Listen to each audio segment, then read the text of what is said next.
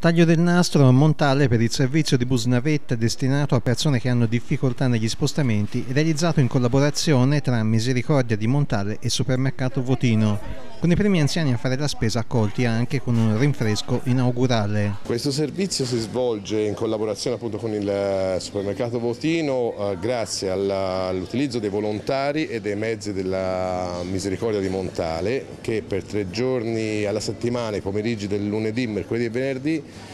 vanno diciamo, nella periferia di Montale, soprattutto su in montagna, a prelevare quelle persone, magari della terza età soprattutto, con difficoltà motorie eh, per poterle appunto portare al supermercato, perlomeno per rendere accessibile a queste, a queste persone uno di quei gesti quotidiani che magari sono venuti meno a causa delle loro difficoltà della deambulazione. Mezzi della misericordia grazie ai volontari.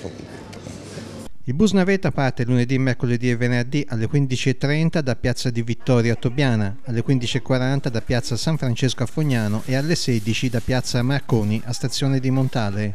Per chi ha difficoltà a raggiungere le fermate è possibile anche prenotare la navetta direttamente al proprio domicilio chiamando il numero 366 58 41 272. Perché avete scelto di promuovere questa iniziativa? È semplice, è un motivo per dare possibilità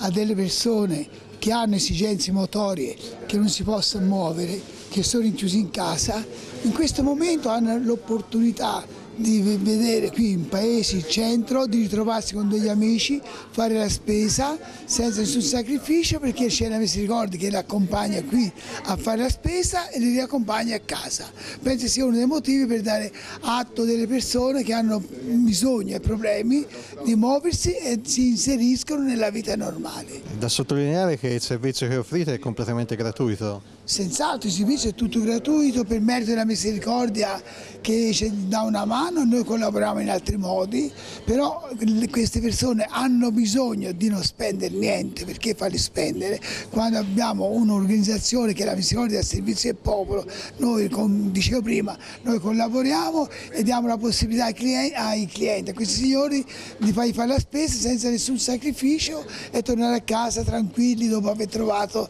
degli amici, salutandosi e ritrovarsi in altre occasioni.